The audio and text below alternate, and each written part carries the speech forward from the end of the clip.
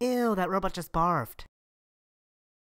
I, uh, I put like a lot of my videos up on like YouTube, like my stand-up videos and stuff. I love YouTube, but I just don't understand the comments people leave me.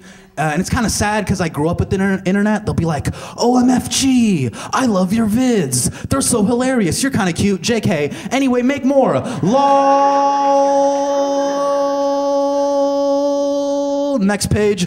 Oh. Next page. Zzz. And it's annoying. It's like, why are you typing like you have a disease? Stop it.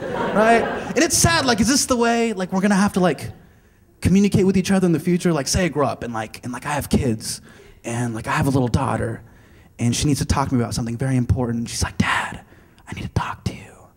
And I'm like, What is it? And she's like, I'm pregnant. And I'm like, What? And she's like, JK, laws. hey! YFD, what's that? You're fucking dead, okay? You ever JK about that or I'll BRB and never come back, all right? What are you crying? Well, guess what? YA, what's that, Dad? You're adopted. You. You're not my child.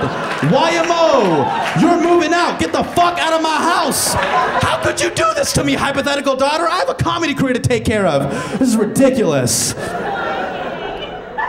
I was so mean. She doesn't even exist, but it's really mean. I'm sorry.